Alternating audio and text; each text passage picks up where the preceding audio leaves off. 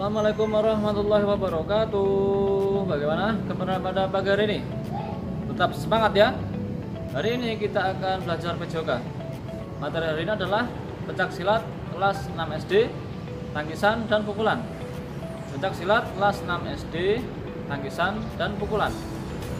Namun sebelum kita ke materi, mari kita melakukan doa agar diberikan keselamatan. Doa mulai.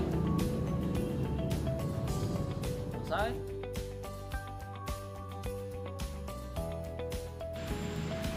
Kombinasi tangkisan dalam dengan pukulan depan. Cara melakukan tangkisan dalam adalah sebagai berikut. 1. Berdiri dengan posisi kuda-kuda tengah atau depan. 2. Tangan dalam posisi pasang. 3. Lakukan tangkisan dengan tangan kiri. Tarik tangan kiri ke samping kiri. Posisi telapak tangan dapat terbuka atau menggenggam. 4. Lengan tidak menempel di badan. 5. Arahkan tangan dalam ke dalam 6. Tangan kanan berada di depan dada 7. Setelah melakukan tangkisan, lakukan pukulan depan dengan tangan kanan 8. Lakukan latihan secara bergantian antara tangan kanan dan kiri Perhatikan gerakan Pak Guru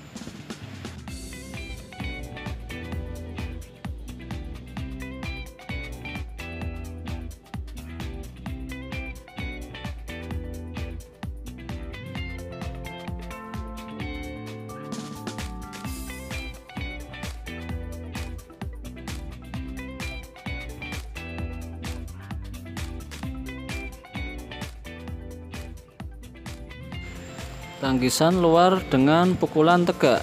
Cara melakukan tangkisan luar adalah sebagai berikut. 1. Berdiri dengan posisi kuda-kuda tengah atau depan. 2. Tangan dalam posisi pasang. 3. Lakukan tangkisan dengan tangan kanan. Posisikan tangan kanan di depan badan. Posisi telapak tangan dapat terbuka atau menggenggam. 4. Arahkan tangan kanan keluar. 5 Tangan kiri berada di depan dada. 6. Setelah lakukan tangkisan, lakukan pukulan tegak dengan tangan kiri. 7. Lakukan latihan secara bergantian antara tangan kanan dan kiri. Perhatikan gerakan Pak Guru.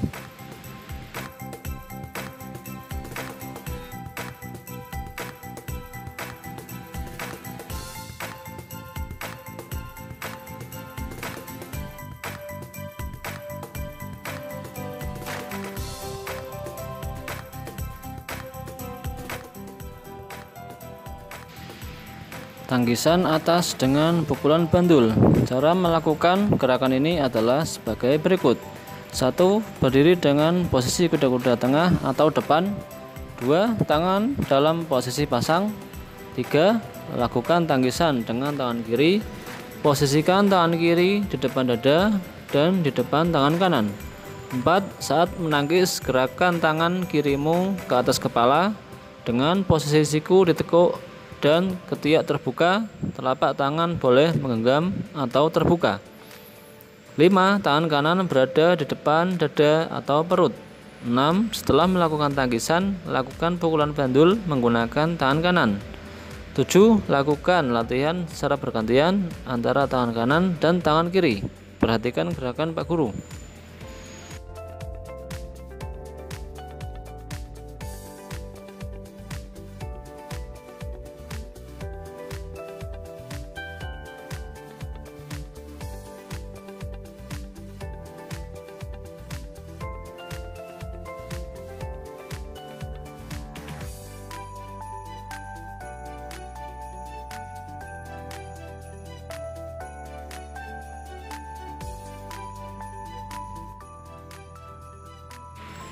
Tangkisan bawah dengan pukulan tepasan.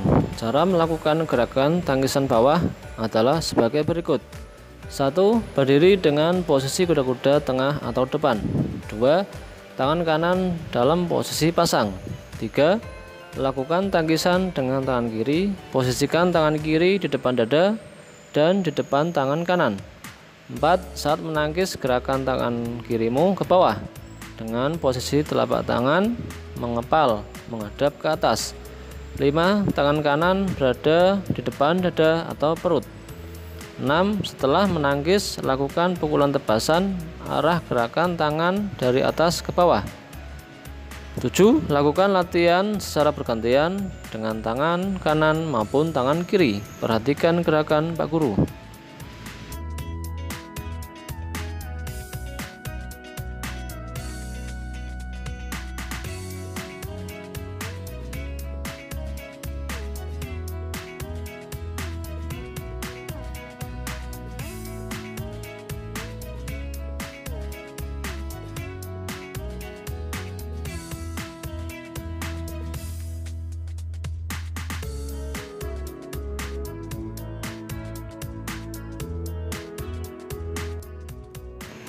Tangkisan silang atas dengan tebangan.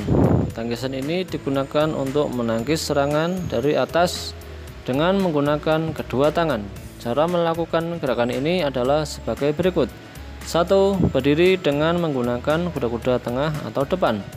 2. Tangan dalam posisi pasang. 3. Gerakan kedua tanganmu ke atas dengan posisi menyilang di kedua pergelangan tangan. 4. Setelah melakukan tangkisan, lakukan pukulan tebangan dengan tangan kanan, tangan kiri menggenggam di samping pinggang, posisi kaki tegak. 5. Lakukan latihan dengan tangan kanan dan tangan kiri secara bergantian. Perhatikan gerakan Pak Guru.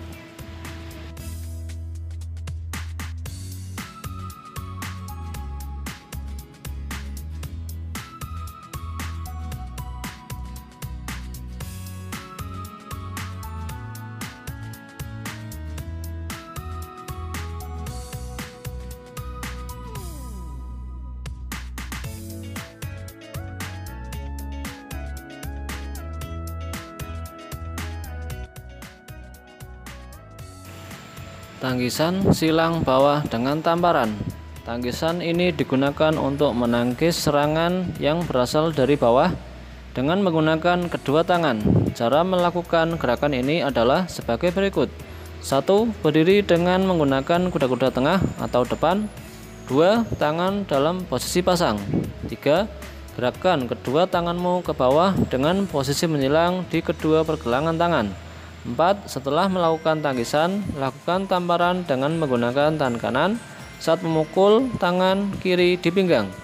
5. Lakukan latihan secara bergantian tangan kanan dan tangan kiri. Perhatikan gerakan Pak Guru.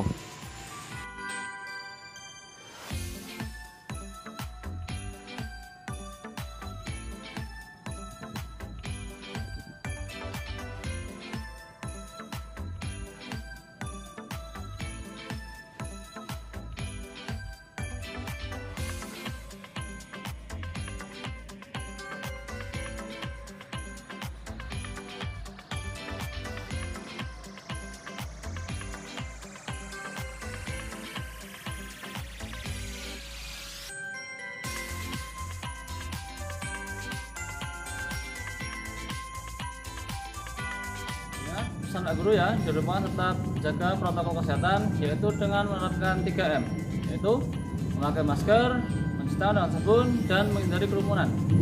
Oke, materi hari ini cukup sampai di sini saja. Nantikan video terbaru dari saya tentunya dengan materi yang lebih menarik. Tapi sebelumnya yang belum subscribe, subscribe dulu. Yang belum like, like dulu. Nyalakan loncengnya agar teman-teman tahu video terbaru dari saya dan share video ini teman-teman kamu. Komen juga di bawah. Terima kasih. Salam olahraga